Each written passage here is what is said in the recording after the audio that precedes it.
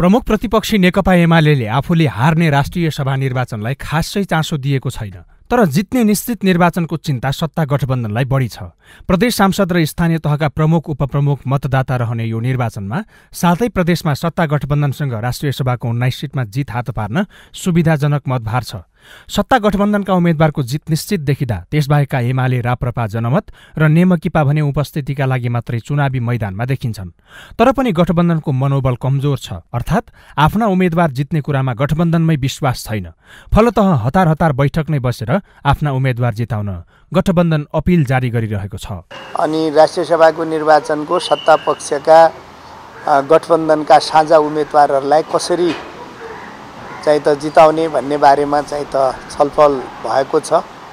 र एउटा संयुक्त विज्ञप्ति अपिल जारी गर्ने काम भएको छ।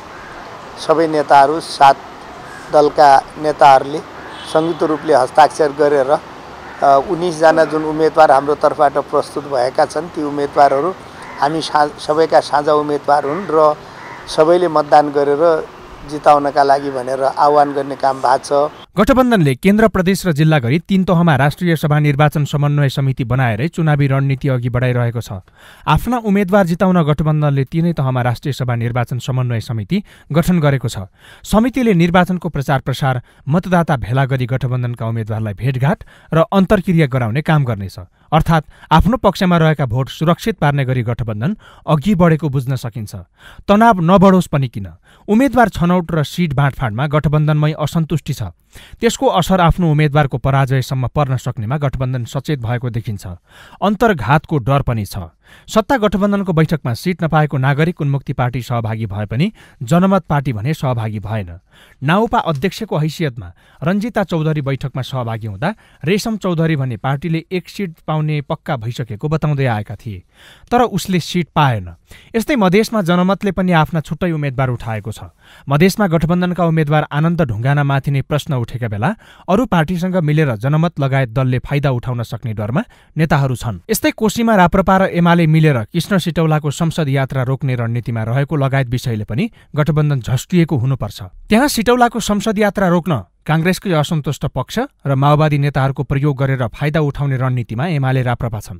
उम्मेद्वार छनौट गरेकै दिन कर्णालीमा जनप्रतिनिधिहरूले उम्मेद्वार चयनमा नेतृत्वले मनोमानी गरेकाले आफूहरू भोट नहाल्नेसम्मकै चेतावनी दिएपछि पनि गठबन्धन झस्किएको देखिन्छ। अन्तर्घातको जोखिम अब एउटा कुरा जे गर्दा पनि जोखिम रहित त हुँदैन।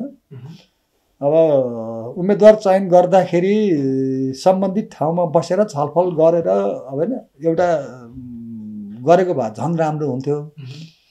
अब के भयो नेताहरूको पदाधिकारी बैठकले निर्णय गर्नुभयो।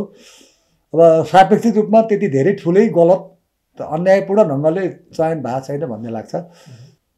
अपिल चाहिँ तपाईँको एक्लै अर्कालाई विश्वास विश्वासिलो बनाउनको लागि होइन एकले अर्कालाई हामी प्रतिबद्ध छौँ भन्ने सो गर्नको लागि पनि हाम्रो गठबन्धन हामी प्रतिबद्ध छौँ भन्नलाई त सार्वजनिक गरिएको हो।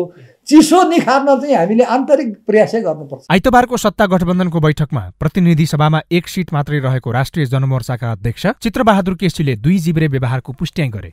विगतमा राष्ट्रिय सभालाई हरुवाको सभा बनाउनु हुँदैन भन्ने केसीले नै प्युठानमा प्रतिनिधि सभा निर्वाचन हारेकी पार्टीकी उपाध्यक्ष दुर्गा पौडेललाई राष्ट्रिय सभा छिराउन मन्जुरी मात्रै दिएनन् कि तत्काल नाम सिफारिस गरी पठाइहाल्न विज्ञप्ति नै जारी गरेर लज्जास्पद हरकत देखाए। हुन त अहिले पनि एमाले मौन रूपमै भए पनि गठबन्धनको असन्तुष्टिमा खेलेर आफ्नो मत बढाउने योजनामा लागिरहेकै छ। एमाले जति खेले पनि ठूलो अन्तरको बहुमतमा रहेको गठबन्धनले उम्मेद्वार जिताउन अपिल गर्नुलाई सुस्ताएको आन्तरिक राजनीतिलाई तताउन खोजेको मात्र देखिन्छ। यसका साथै गठबन्धनमा रहेका दलहरूले जनतामाझ आफ्नो सक्रियता देखाउने र उपस्थिति जनाउन पनि चुनावी प्रचारको नाटक मञ्चन गर्न खोजेको स्पष्ट छ।